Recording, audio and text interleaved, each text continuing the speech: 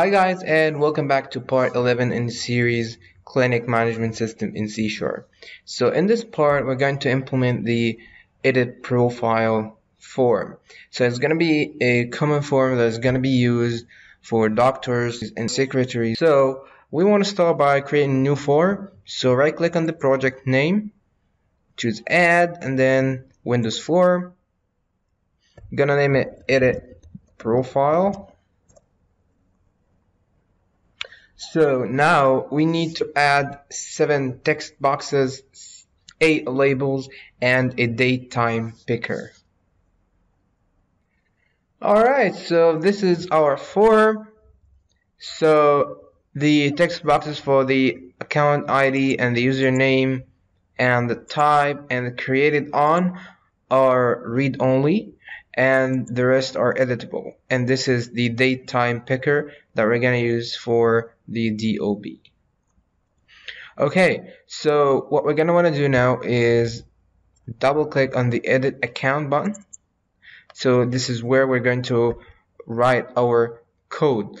But first we need to pass the account ID to our edit profile form because we're going to use this account ID to identify which profile uh, we want to address. So in the constructor of the class edit profile, we're gonna provide an argument which is an int account underscore ID, and then we're gonna create a public uh, int account underscore ID, and then in the constructor we're gonna say this dot account underscore ID is equal to account underscore ID. Okay, so this is the first step.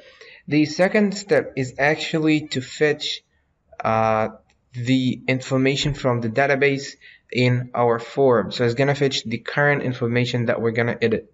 Okay, so we're gonna want to double click on our form to go to the event uh, of the form load and first of all, before this function, we want to create our connection, right? But in order to create the SQL connection, we have to be using system.data.sql client. And then we're going to create our connection. So SQL connection, we're going to name it con is equal to new SQL connection and I'm going to provide the connection string which is in properties dot resources dot connection string. Okay so we're going to create our command now uh, in the edit profile load function. So SQL command command is equal to con dot create command and then command the command text is going to be select user underscore username account underscore name account underscore DOB account underscore phone account underscore type account underscore notes and account underscore creation underscore date from our tables user and account where we're going to specify our join condition which is actually account underscore user underscore ID is equal to user underscore ID. So this is the join condition between the two tables. And account underscore ID is equal to add account underscore ID, which is a parameter that we're going to provide, right? Command dot parameters dot add with value account at account underscore id and then our account underscore id the integer that we globally define right? Okay so now we want to open our connection so open and remember when we open the connection we have to close it again so close so we're going to obviously call execute reader because we want to fetch the whole record, right? So SQL data reader, we're going to name it reader is equal to command dot execute reader. If reader dot read then we're gonna fetch our data into our text box. So text box one the text is gonna be the uh, account ID, so account underscore ID to, to string, and text box two the text is gonna be uh, the the, the, the username, which is actually the first column in our query. So reader dot get value of zero dot to string, and then the text box uh, three dot text is gonna be the name, which is reader dot get value of one dot to string. Then the DOB is gonna be loaded into our uh, datetime picker so we want to actually write this in a try catch block because if this is uh, if the data is empty then it's not to be loaded so try date time picker one dot value is equal to date time dot parse. Then we give it the string of the uh, dob which is actually reader dot get value of 2 dot to string. And then we're gonna catch exception and do nothing right? Okay. Text box four the text is equal to reader dot get value of 3 dot to string which is actually the phone number and then the type. So we want to perform a check on the type. So if the type is zero, then we're going to want to uh, display that this is a secretary. If it's one, then this is a doctor. If it is three, then it is obviously a patient, right? So, I mean, if it's two, then it's a patient. So, if reader.get int 32 of 4 if it's equal equal to 0 then this is a doctor so text box 5 the text is equal to I mean this is a secretary so secretary alright else if reader dot get int 32 of 4 equal equals 1 then text box 5 dot text is equal to doctor. Else if reader dot get int 32 of 4 is equal equal to 2 then this is the text box 5 the text is equal to patient right then text box 6 dot text is equal to reader dot get value of 5 dot to string. And finally text box 7 dot text which is the creation date. So reader dot get value of 6 dot to string alright so we are done now with loading the uh, the initial information to our uh, form.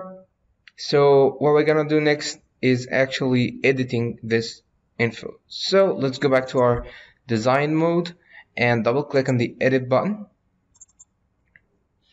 And then we're gonna create the SQL command. So SQL command gonna command is equal to con dot create command command dot command oops command dot command text is equal to update then our table which is account set count underscore name is equal to at name.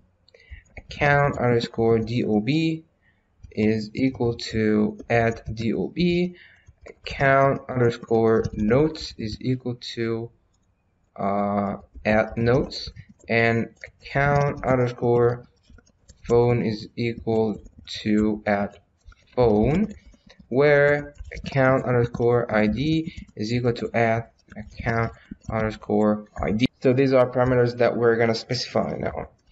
Command the parameters to add with value account underscore oops at name which is gonna be actually in text box 3 the text then command the parameters the add with value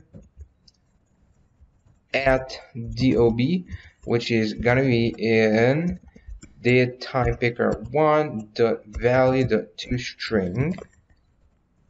Then command the parameters dot add with value. I'm gonna add the phone which is actually in text box four dot text and then command the parameters the add with value and we're gonna want to add the notes add notes which is in text box uh, 6 dot text. And finally add our account ID so command the parameters the add with value at account underscore ID so it's account underscore ID and then we obviously want to call the execute non-query but before doing this we have to open our connection. So con.open and then con.close if command.execute non-query is greater than zero then we're good. Message box dot show. Um, account was updated. Else message box dot show. Account was not updated right? Okay so remember that we said before that we have to validate the inputs so here the only input that we are uh, interested in checking that is truly entered is the name actually. So we want to check for text box 3. So we can perform this check at the beginning of this function here. So if text box 3 the text is equal equal to an empty string, then we want to return and do not edit this uh, this count, right? And we can also display a message to the user telling him that the name is empty. So message box dot show. Please enter a name, right? Okay, so that's it. Now we're going to call this form from other uh. So we're going to call it from the doctor panel and the secretary panel for now. So let's double click on the doctor panel and we're going to want to add a button let's call it edit profile or edit edit account we want to double click on it and then type hide. To hide this form create a new object of our edit profile class. So edit profile we're to name it edit profile is equal to new edit profile. And then we're going to provide the account ID which is actually account underscore ID because we previously um, added the account ID when we called the doctor panel form. So edit profile dot show dialog and then we're going to show again our form after editing the profile, right? So uh, we're gonna do the same for the secretary panel.